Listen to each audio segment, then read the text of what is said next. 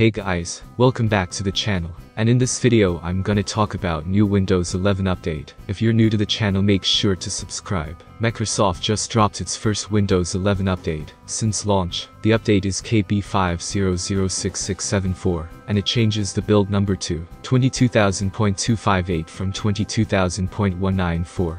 This update basically highlights some security fixes and updates.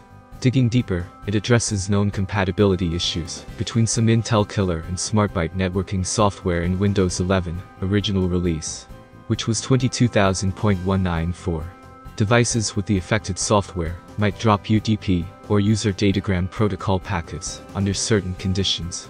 This creates performance and other issues for protocols based on UDP, for example, some websites might load slower than others on the affected devices, which might cause videos to stream slower in certain resolutions.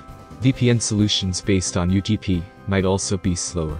And also let me tell you that, every second Tuesday of the month, all supported Microsoft products get an update, and that will also includes Windows 11.